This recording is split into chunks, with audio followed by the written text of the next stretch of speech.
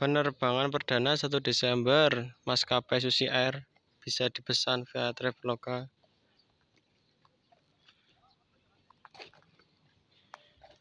Rute Makassar Bone, Bone Makassar, Bone Kendari sudah bisa dipesan. Ya.